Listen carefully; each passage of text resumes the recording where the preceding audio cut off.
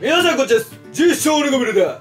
ひろげだはい、今回の動画はこちら、レゴクリエイタードローンの続きになります。はい、前回の動画でこちらのドローンを組み立てました。あの、小さいんですけど、ミニフィグが乗れたり結構動くところがあったので、これはすごい良かったです。はい、前回の動画でプロペラボート作ると言ったんですけど、あの、僕前の動画で、スーパーカーとサンセットレースカーと、こちらのドローンのボートは3つ一気に作るということで、まあちょっと今回霧がいいようにしたいので、今回の動画ではこちらのプロペラ機を作ります。はい、ドローンの動画はこの動画の概要欄に載せておきます。合わせてみてください。はい、それでは組み立てていきます。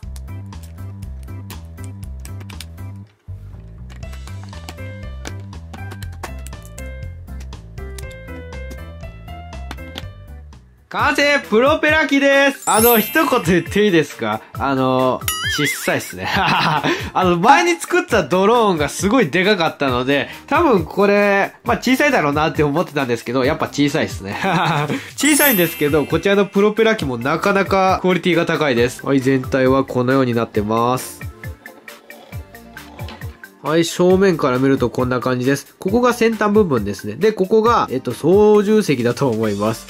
小さいな もうこれはミニフィグ乗れませんね、もう。あの大きさが違うので。目立つのはやっぱこの2つのプロペラですね。で、このプロペラは、このように回転することができます。反対側も同じです。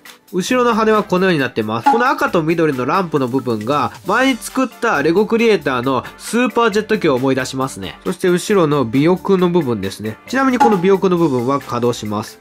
結構動きますね、これ尾翼ってこんな動いていいのかな？このプロペラ機のクリアパーツもかなり綺麗ですね。横から見るとこんな感じです。かなりスマートにまとまってます。次は大きさ比較をします。はい、ミニフィグと並べるとこんな感じです。個人的にはミニフィグ乗れるようにしてほしかったですね。ちなみにこの時点で余ってるパーツは、これだけあります。えっと、ほぼテクニック系のパーツなんですよね。では、この余りパーツを使って、このプロペラ機をミニフィグ乗せれるようにします。では、いきます。せーので、はい、完成ヒロげぇ式プロペラジェット機です。まあ、ミニフィグは乗せれるようにしたんですけど、もう全く違うことになってますね。まず、こちら、キャノン砲。あの、レゴテクニックのパーツで、キャノン砲できるんじゃないかなって思って作ってみたら、意外とできました。ちなみに、このキャノン砲は取り外して、ここのパーツを回転して、ミニフィグに持たせることができます。これどうでしょう？あの、やっぱこういうキャノン砲つけたらなんかかっこいいなって思ってちょっとつけてみました。ちなみにこのプロペラ機なんですけど、この羽の幅をワンブロック広げました。そうすることによってミニフィグを登場することができます。そしてクリアパーツも左右対称にしたいので、まあ綺麗にまとめてみました。で、こちらの後ろのパーツ、この2つのパーツを下げることによって、はい、こんな感じで自立をすることができます。まあこれ個人的な意見なんですけど、やっぱかっこいいな。なんか気持ち的にもうちょっとパーツ欲しいなって思います。まあただちょっと使えるパーツがあんまなかったので、まあこれが限界ですね。やっぱレゴクリエイターの面白いところはこんな感じで、もう自分オリジナルにできるというとこですね。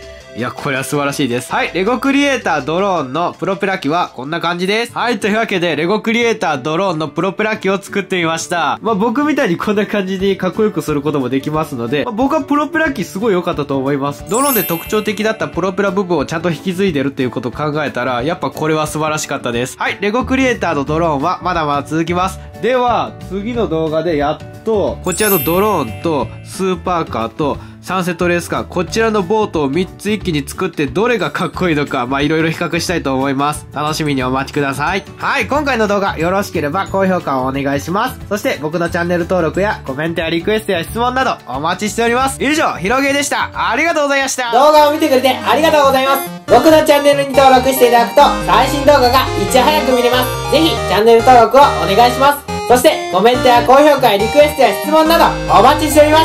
それでは次の動画でお会いしましょうほなな